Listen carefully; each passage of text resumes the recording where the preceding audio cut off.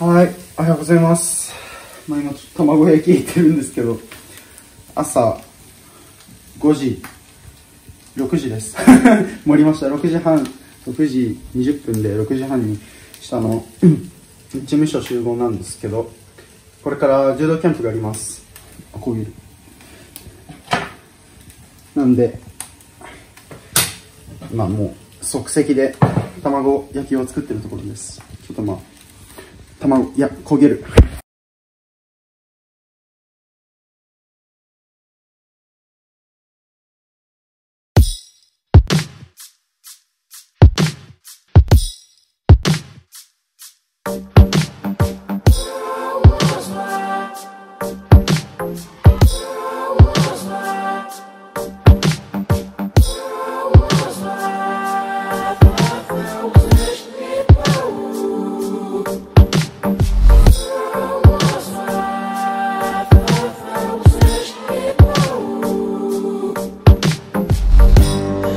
Hişninsişna Yanomadıyım mekna Yasama bey hişninsişna To my. Co tam ma?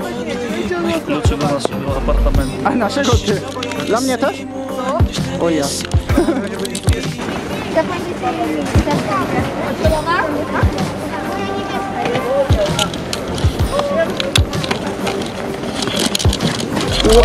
się. あやれさん柔道クラブのオーナーです、まあ、子供のための合宿なんでここでスキーしたり何するのかな、まあ、柔道はするんですけど柔道の練習やりながらスキーしたり他のアトラクション混ぜて子供たちを楽しませる合宿です、まあ、楽しみです。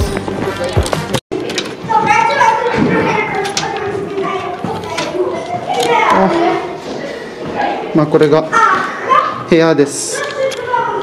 ラファオコーチと一緒です。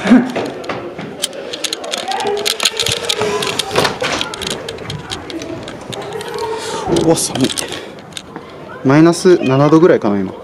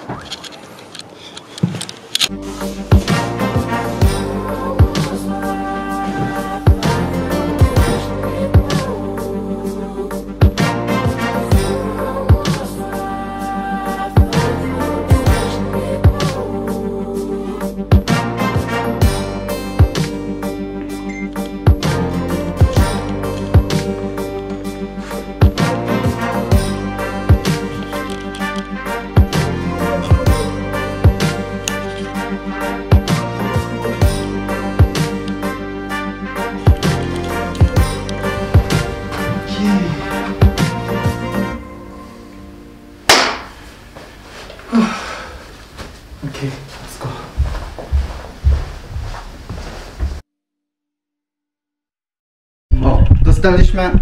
こんな美味しいなんかメロンパンみたいな味がするんですけど。夕飯に出てきて残りを全部もらいました。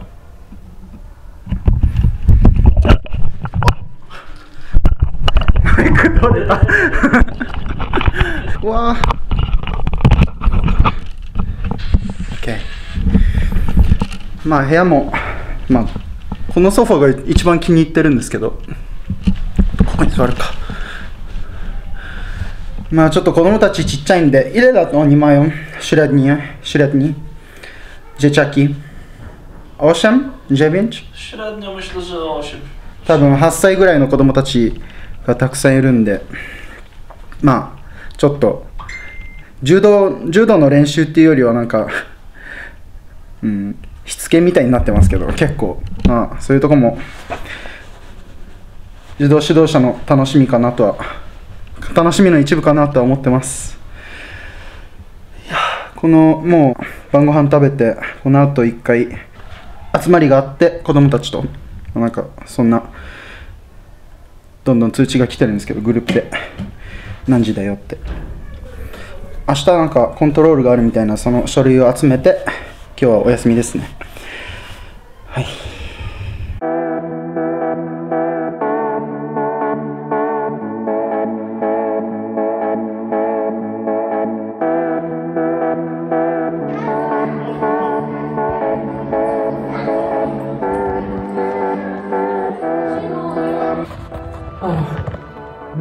今ちょっと全体ミーティング終わって部屋戻るところなんですけどやっぱり全体ミーティングってどの国も国でも言うこと変わらないのかなって思いましたね。なんかもう一人の行動がそのその一人の信用だけじゃなくて柔道クラブの信用を失うことにつながるとか、まあ、それだけにとどまらずそのもう一人のその柔道家の悪い態度が柔道界を見る目を変えてしまうっていうすごいちょっと深いことをさっき柔道クラブのオーナーが言ってたんですけどあ本当にちょっと深すぎて8歳に分かるか分かんないですけどまあこういう言葉をこれから何回も聞いて覚えていくのかなと思いますしまあこの合宿に関してはあの罰則が厳しいので その規則を破ると罰則があってまあその罰を受けないためになんとか頑張るのかなとか思ってますけどまあ子供たちもすごい楽しそうなんでその楽しそうにやってる姿を見せて今日は終わりにします。じゃあまた。